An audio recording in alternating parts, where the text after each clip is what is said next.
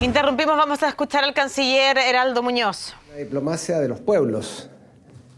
Cuestión que nos llama la atención porque hay que hablar con los representantes de los pueblos, quienes los pueblos eligen a sus representantes.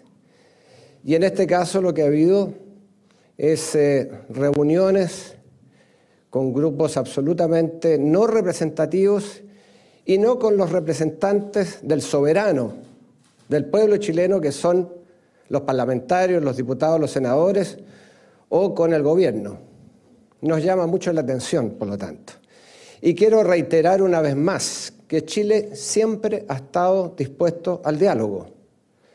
Y tanto es así que nosotros fuimos los que propusimos a Bolivia el restablecimiento de las relaciones diplomáticas de inmediato y sin condiciones.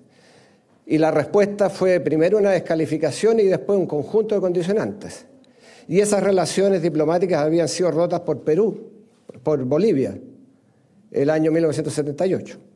De modo que está claro la disposición de Chile, siempre ha estado disponible para un diálogo respetuoso.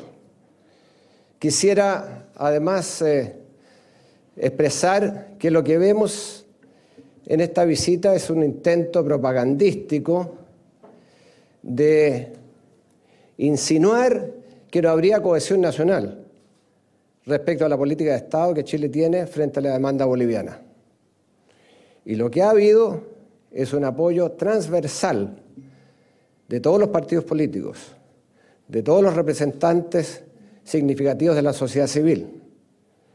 De modo que aquí hay una política de Estado y lo que se pretende de alguna manera es insinuar que no está este sólido respaldo a la política de defensa de nuestros intereses nacionales. De modo que eso es lo que tengo que decir.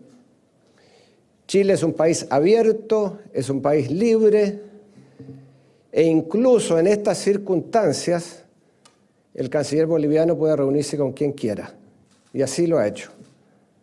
A diferencia de lo que ha sucedido incluso en el caso de nuestro cónsul general, que en visitas abiertas se ha creado un manto de sospecha sobre sus actividades. Nosotros no tenemos problema con que el canciller de Bolivia se reúna con quien estime conveniente. Este es un país libre, un país abierto. Eso es lo que tengo que decir sobre esta visita. Tenemos una pregunta porque el canciller tiene un encuentro con historiadores ahora. Canciller, eh, buenos días, buenas tardes a esta altura. Eh, bueno, usted lo ha mencionado, quisiera reafirmar quizás esta opinión. ¿Es una provocación por parte de Bolivia la visita del canciller Choquehuanca a Chile? Eh, él mencionó de que sí avisó con anticipación de su presencia acá en Chile. Y junto con esto, en el marco de esta visita del canciller Choquehuanca, preguntarle también, en el caso de que la Corte Internacional de Justicia de la Haya falla a favor de Bolivia, ¿La Corte puede obligar a ceder soberanía marítima a Bolivia? Mire, usted ha hecho varias preguntas en una y eh, lo concreto es lo siguiente. Bolivia no informó, nos enteramos por los medios de comunicación de la visita del canciller boliviano. Posteriormente mandaron una nota. Que eso quede claro. Esa es la realidad. Y eso no se hace. ¿Mm? No la voy a calificar. Yo creo que la opinión pública sabrá sacar sus conclusiones. Respecto a lo segundo, queda absolutamente claro que la Corte de ninguna manera, y así lo ha expresado en el fallo, puede obligar a Chile a ser territorio. La soberanía territorial de Chile está salvaguardada, está absolutamente resguardada, y esa por lo demás es nuestra obligación. Así que no hay ninguna duda al respecto. Gracias.